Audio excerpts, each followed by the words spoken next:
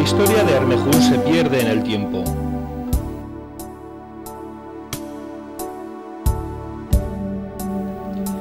La zona se repobló por los cristianos hacia el siglo X, siguiendo el valle del río Linares.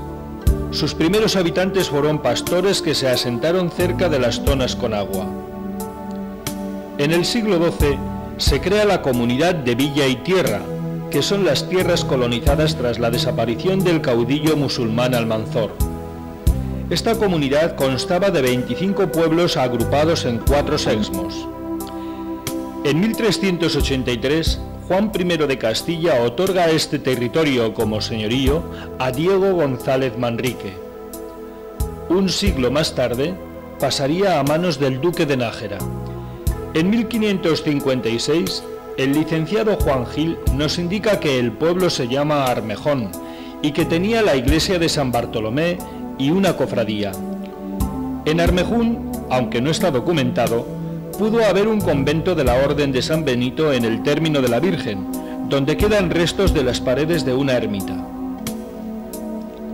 En el catastro del Marqués de la Ensenada en 1753 se indica que la villa sigue siendo de señorío y que pertenece al Duque de los Arcos. Mi nombre es Bartolomé y soy un vecino imaginario de Armejún que os voy a contar cómo fue la vida del pueblo en lo que yo pueda recordar, desde los años 30 hasta que quedó abandonado. Lo que más recuerdo de mi pueblo es que ya existía la democracia mucho antes de yo saber qué significaba aquello. Teníamos alcalde y secretario, pero todo lo que se hacía en el pueblo se decidía por votación de los cabeza de familia. Como éramos pocos vecinos, teníamos muchos oficios obligados para la comunidad como los siguientes.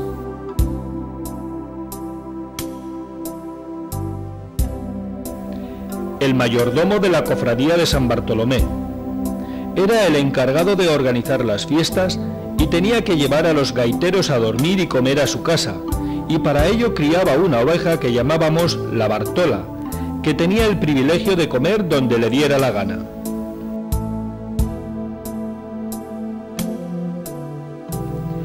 El 27 de abril se sacaba San Bartolomé en procesión por el pueblo y se le rogaba que protegiese las cosechas, y para ello se ponía el santo en novenario, que consistía en tener la lámpara del santo encendida día y noche a cargo del mayordomo de la cofradía. Otro de los oficios era el tabernero. Su obligación era tener vino para la gente del pueblo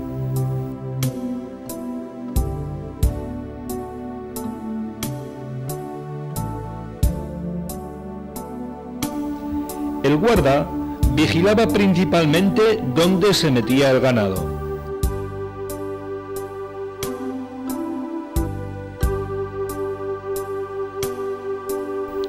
El que cuidaba los fondos del ayuntamiento era el tesorero. El alguacil era quien tenía la llave del horno y los juegos de pesas y medidas. El síndico arbitraba las quejas sobre todo de pesos o de medidas.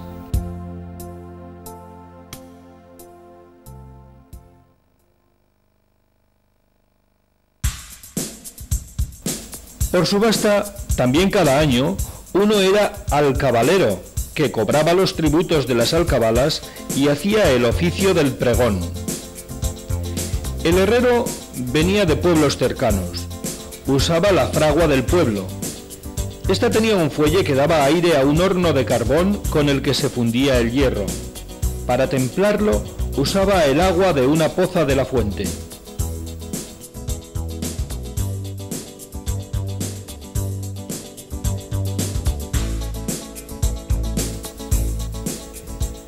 En Armejún tan solo tuvimos luz los últimos años y nunca nos llegó el agua corriente.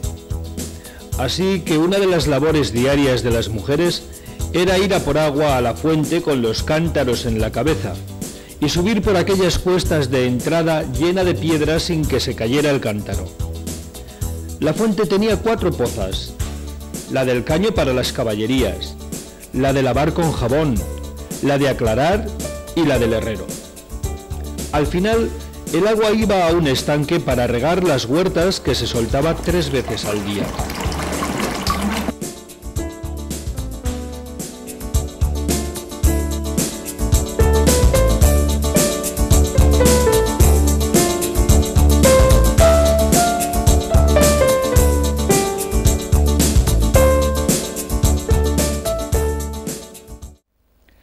Los chavales íbamos a aprender a la escuela y dependiendo de la época, acudíamos entre 20 y 40. Guardamos buen recuerdo de muchas de las profesoras que tuvimos, como doña Eloísa Coloma, natural de Cervera del Río Alama, que fue una buena maestra y que estuvo muchos años en el pueblo, o doña Lorenza, que era de Arnedo.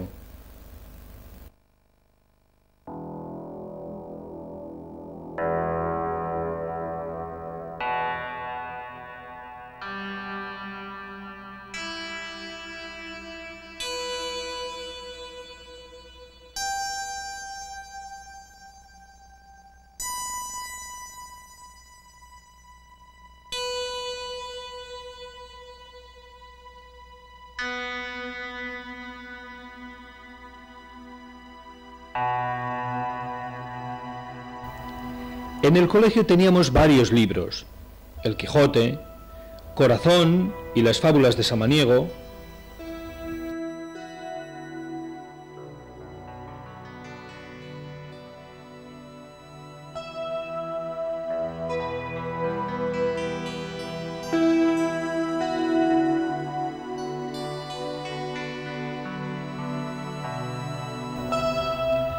Una vez tuvimos en el colegio al hijo del ilustre don Ezequiel Solana, de Villarijo, que se llamaba don Rafael Solana y que vino a pedir el voto en unas elecciones. Fue a la escuela, cogió los nombres y envió libros dedicados por él para todos los chavales del colegio.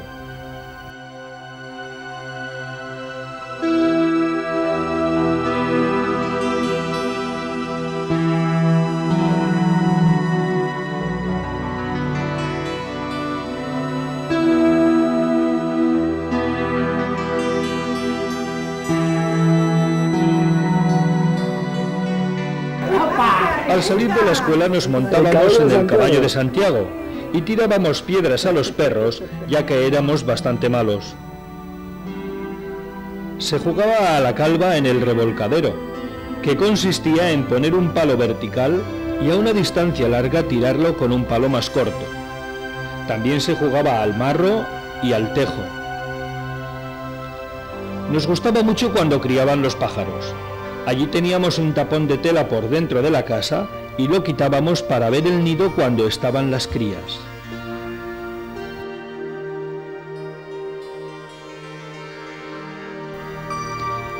A los ocho años hacíamos la carrera de pastor o pastora, ya que todo el mundo tenía 30 o 40 ovejas, casi todas churras.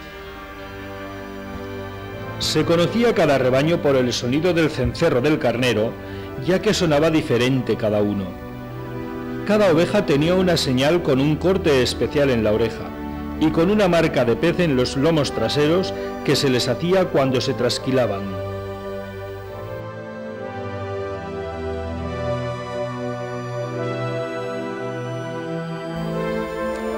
En la casa del cura era donde los jóvenes nos juntábamos para los trasnochos. Estaban los mayores, el Rufo, el Poli, el Liborio, el Pedro, el Kiko y otros. No hacían más que espabilarnos a los más jóvenes. Todavía las piedras cuentan de aquella noche nevada cuando el Rufo retó al Felipe a ir a la puerta del horno y pegarle con el pie. Empezó la carrera Felipe y llegó el primero. Golpeó con la abarca varias veces la puerta. El Rufo llegó después. Se quitó la abarca y como ya venía descalzo, le pegó con el pie desnudo a la puerta, con lo cual ganó la apuesta. La iglesia de Armejún es del siglo XVI. Era muy rica en equipamiento para curas.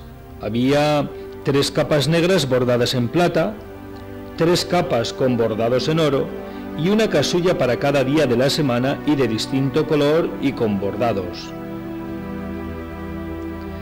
Curas hubo bastantes, De ellos nombrar a don Firmo, don Roberto, don Luis, etc.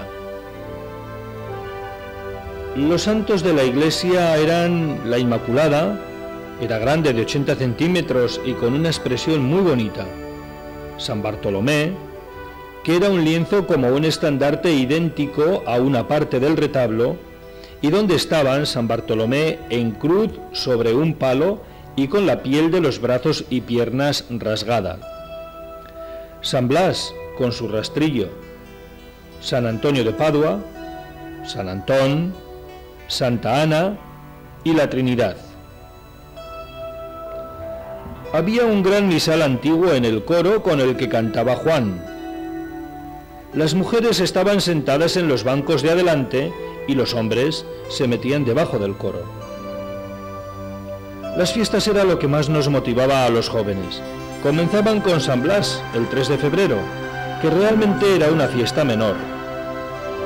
San Blas llevaba una especie de rastrillo con el que nos dábamos en la garganta por ser el abogado de la garganta.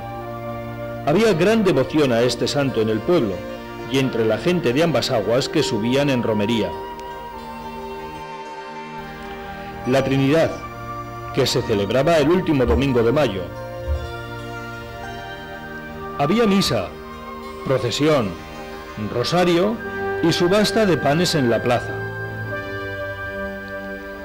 Siguiendo la tradición de la zona procedente de ritos quizás prerromanos, salían en procesión tres móndigas y un mozorramo, cuya única condición era ser solteros. Las mondigueras llevaban un canastillo en la cabeza con bordados y adornado con flores donde metían tres tortas y urujuelos. El mozorramo llevaba un ramo de cerezo o pomar. El día 13 de junio se celebraba San Antonio de Padua. Por la mañana se salía en procesión con las móndigas y el mozorramo. A las 4 tocaban a vísperas y después había subasta en la plaza de panes y rosquillas.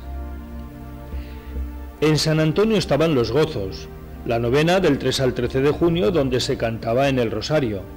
Se le tenía mucho cariño a este santo por parte de los pastores, ya que se decía que guardaba las ovejas.